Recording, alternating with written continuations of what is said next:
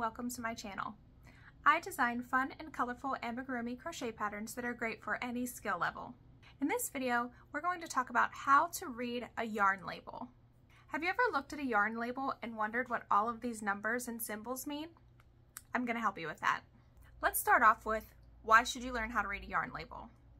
In order for you to choose the right yarn for your project, you need to know what the different numbers and symbols mean on the yarn label. Choosing the wrong yarn can lead to garments that don't fit, amigurumi that falls apart, projects that turn out too big or too small, or not having enough yarn to finish your project. Most yarn labels will include everything that you need to know to make sure that that yarn is going to work for your project. This can include the yarn weight, the yardage or the skein weight, the fiber content and dye lots, washing instructions, and the suggested hook size. The yarn weight of each skein is identified with a little symbol that looks like a ball of yarn with a number on it. The number refers to the thickness of the yarn. So you can see here on this skein of Brava, there is the yarn weight symbol with a number four. Four weight yarn is pretty common here in the US. It's a medium weight yarn and it can include worsted weight yarn, which is pretty standard for amigurumi projects. You can see that this yarn is a six. It's a super bulky yarn and it's much thicker than the medium weight yarn. Most crochet patterns will include the yarn weight that the designer used to create the pattern. Generally speaking, you'll want to stick to something close to that especially if you're making a garment or something that's wearable that you'll want to make to a certain size, you'll want to make sure that it turns out the size that's intended. Using the same or similar yarn is a good way to ensure that your project will turn out to the designer's specifications.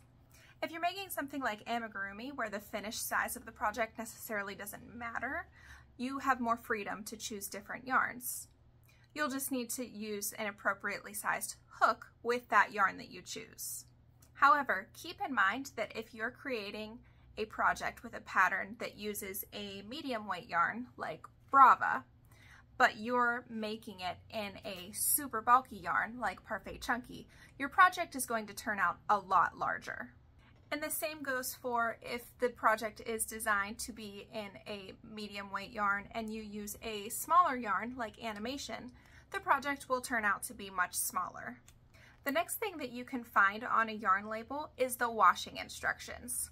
So most yarn labels will have little symbols like this, and some will even spell out exactly what those symbols mean. So for this yarn, it is machine wash, warm, and lay flat to dry. The washing instructions will tell you how to care for your finished project once it's done with that yarn. It will tell you if a project can go in a washing machine or if it needs to be hand washed, if it can go in the dryer, or if it needs to be laid flat to dry. Some yarns can only be spot cleaned. So you should always check your yarn label before you start a project to make sure that that yarn is going to work for your intended use for the project. The yarn label will also include a suggested hook size and also a suggested knitting needle size for knitters.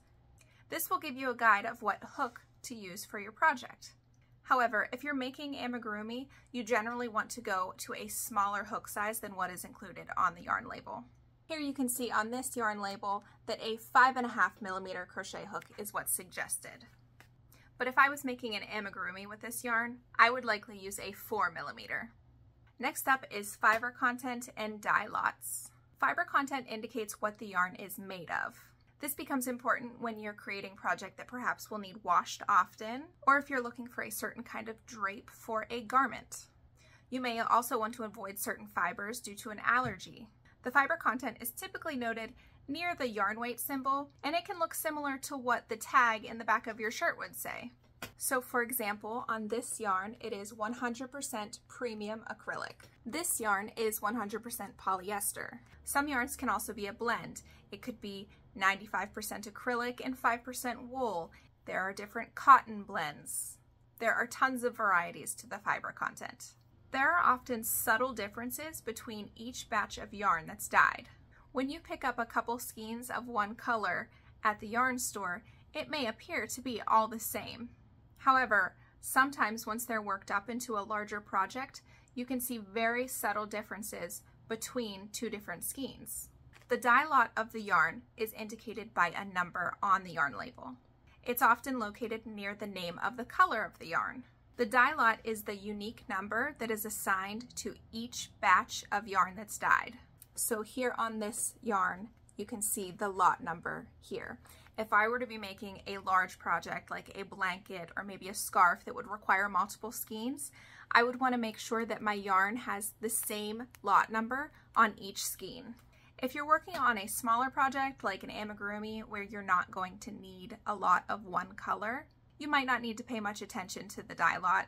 But if you're working on something that's going to require multiple skeins of one color, you should check to make sure that you have the same dye lots. The next step in learning how to read a yarn label is the yardage and skein weight.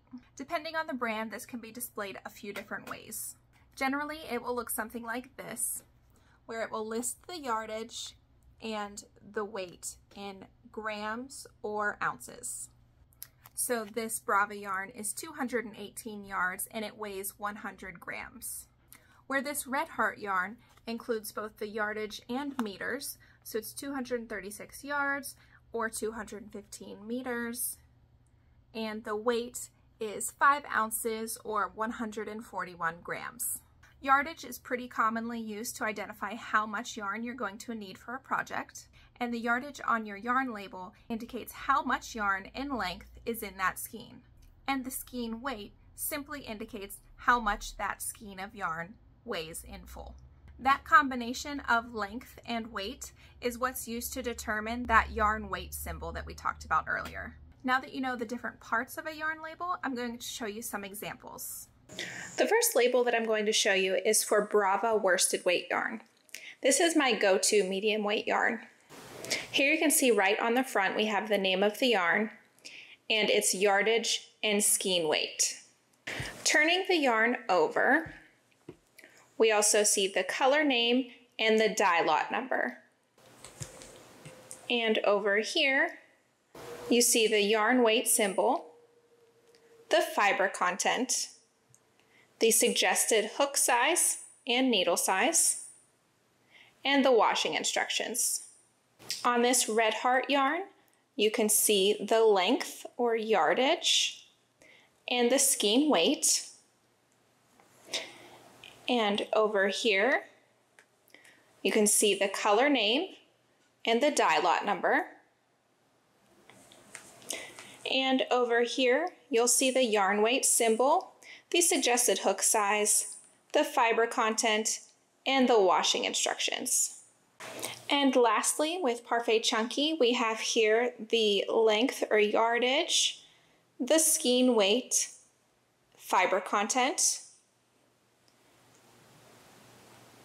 Over here, we have the color and the dye lot number, washing instructions, the yarn weight symbol, and the suggested hook and needle size. And that's how you read a yarn label. I hope you've enjoyed this video. Thanks for watching.